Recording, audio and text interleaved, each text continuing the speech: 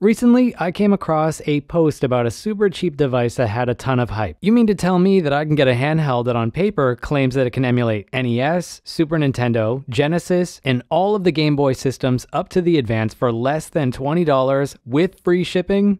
Take my money. I usually cover a wide range of products on this channel, but it's been a very long time since I've looked at something that is this budget. The poor kid inside me desperately wants a good 20 to $30 handheld to exist, and I'm willing to see if this can fit that role. This is the SF 2000 from Datafrog, and if that name doesn't instill the highest degree of confidence, then I don't know what would. My expectations going into this are very low. I think just like a lot of people that bought this based on the rendered images that went up, I've accepted the fact that this could be a cool paperweight at a minimum. I'm a sucker for anything Super Nintendo, and this would be at least a cool thing to add to my shelf. So I'm going to do a review on this, and I'm going to tailor my expectations to a $20 price tag. Let's start with the packaging. This thing comes in a pretty big box for a device that is this small. For reference, here's the RG353P that I gave a favorable review to last year. That device is a little bigger than the SF2000, but the packaging is actually smaller than our new device. Inside the box, we have a set of AV cables and a charging cable. AV cables are not that common on modern cheap chips, so this one is probably using something that is a bit older. In terms of the layout, it's actually pretty decent. Barring the single analog stick that is almost pointless on this device, the rest of the design looks good. It's got a set of big face buttons that fit the original nostalgia, but they've messed up on the buttons themselves. On this, X and A are concave or have a recessed middle area, but I believe that only Y and X have that on the original controller. Let's finish up with the front. We have a big D-pad that appears to be modeled after an SNES controller, and we have a Switch joystick that doesn't have L3 functionality. On the right side, we have a set of rubber or silicone buttons for start and select. That gives this thing two more points over the RG353P in terms of executing the nostalgia correctly.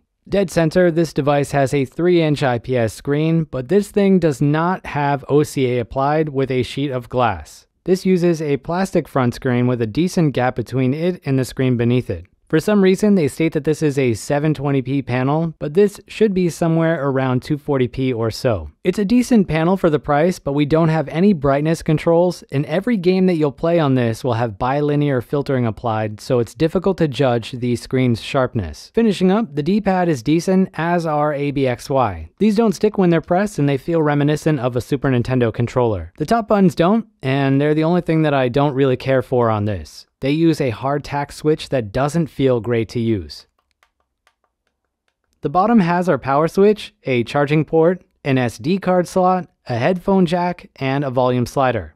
The back holds a single speaker, which is not ideal, but they did do something that's interesting on this. You'll notice that we have this bulge on the top half of the back. This lets the device display a bit better on a shelf, but it holds a user replaceable battery cell. It's a 15 milliamp hour cell, and it should be easy to get a hold of a replacement one in your country. I only wish they could have done a better job of molding this back part to be a bit more ergonomic. So far, not that bad for $20. The plastic feels a bit cheaper than it does on the RG353P, but they did at least apply the correct texture to the surface. Let's take a look at the operating system on this and what comes included.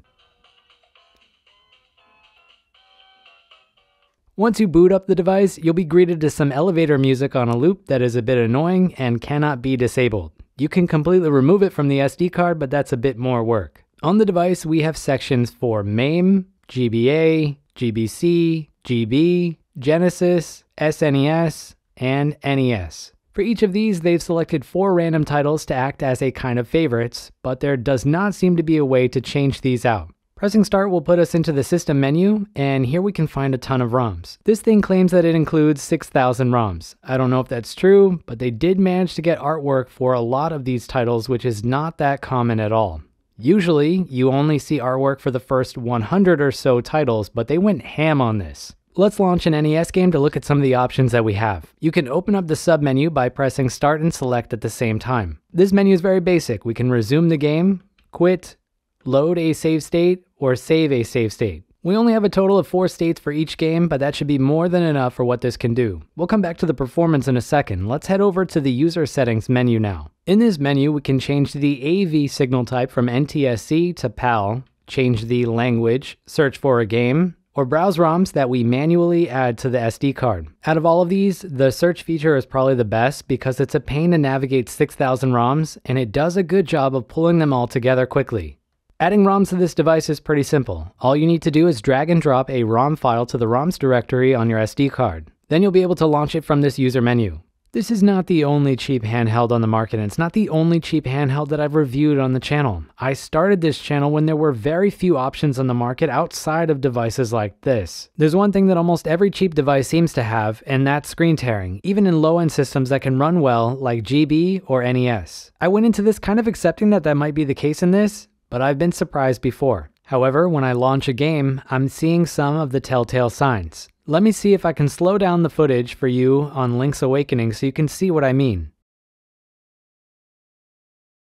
We can confirm this with a screen tearing test, and we can see the same thing. If this did not have screen tearing, you would not be able to see these jagged lines. So what is screen tearing? Essentially, the system is trying to display a frame before it has a full one generated. On other devices, we can use VSync to fix this, but on small devices like these, it's a bit more complicated. The emulator and the screen need to be able to communicate with each other, and on some stuff like this, that doesn't happen. Sometimes we can fix this through code, but sometimes it needs code and special hardware, like a screen that can generate something called a tearing effect signal. Obviously, we know that this thing can't be perfect for $20, so let's at least see if it can emulate the systems that it claims at full speed. If it can do that with tearing, it's not the end of the world. Starting with Game Boy, the game appears to be running at full speed, but I think the tearing ruins games that side scroll fast like this one. I'm noticing one thing that might be an issue for some of you while you're playing this. They've used A and B for A and B on a Game Boy. On its face, that kind of makes sense, but when you consider how you have to position your hand to make this work in games that you need to be holding down B to run, you are either going to be holding the device like this, which isn't comfortable, or you are trying to awkwardly position your thumb between them. I think the more common way to map two button systems like this would be to use Y and B because that would give you a closer feeling of how you'd play on original hardware. The problem is that there's no way for the user to configure or remap buttons on this device,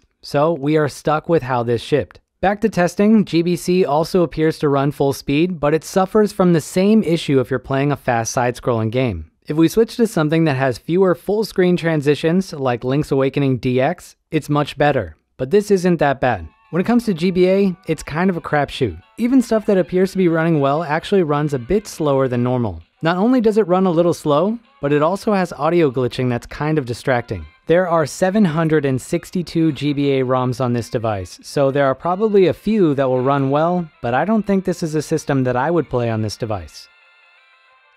After this, we have MAME. This is another system that's going to come down to the games that you're playing. Something like Metal Slug will run very well on this. It slows down in some areas, but it's a lot better than something like GBA. Normal beat 'em up games will also run well on this. This is the only system that I could see myself using this small analog stick for. NES runs very well on this device with the same side-scrolling notice that I gave for the other systems. Games like Adventure Island are a bit too annoying for me to play on this, but The Legend of Zelda is much better. Super Nintendo is crap on this, but it was less crap before I applied the latest software update. At that time, games ran very slow with heavy frame skip applied. Now they run at less than half speed for all titles. Here, take a listen to this Capcom intro for a second.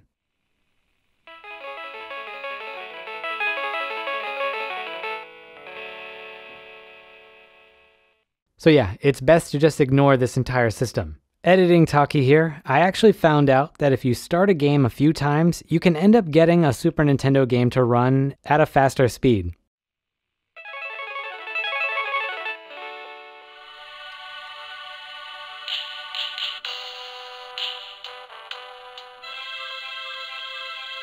This makes no sense. What the hell?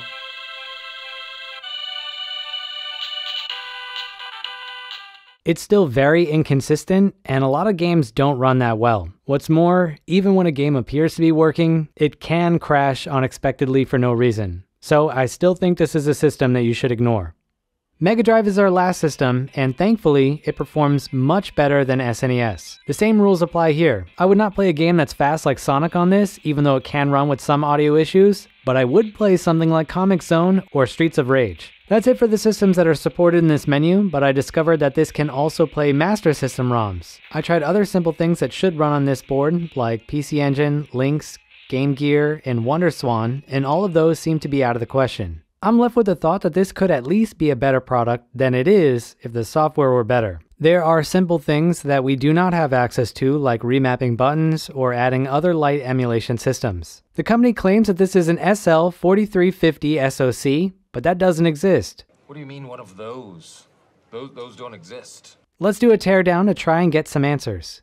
With the back shell off, we can get a clear look at the processor, or we would if they hadn't gone to the extreme length of sanding down the identification markings. You really only see stuff like this with ultra budget handhelds where companies are so worried that someone will come around and just do a complete hardware clone of their product. I don't know for sure what this processor is, but I can take a wild guess. It's either a very low end Allwinner chip, a low end MIPS chip, or a repurposed Miracast processor like the Russian lads over at 4PDA found in other Datafrog gaming hardware. Let's wrap up this video with my pros and cons. On the pro side, this thing is dirt cheap. Even without the coupon applied, $24 with free shipping is a steal of a deal, even if you only want this as a paperweight. It's got a decent screen, good buttons, and it has a user replaceable battery. The speaker is also not that bad for a mono speaker, although I wish they would have included a second one. For cons, we just have a few. The top of my list would be the screen tearing issue, but this can be mitigated if you only use this to play certain games that don't have a lot of movement. I think the stock firmware is kind of crap, and not being able to remap buttons sucks in systems that only use two buttons. I also do not like the bilinear filtering that is applied for every system without the ability to turn it off. That's basically it. Even if this screen tearing issue cannot be fixed, this product could be a lot better with custom firmware, but I don't think the company will allow that to happen if they went to the lengths of sanding off their processor. Oh well,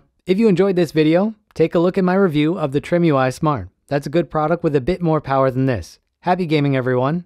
Taki out.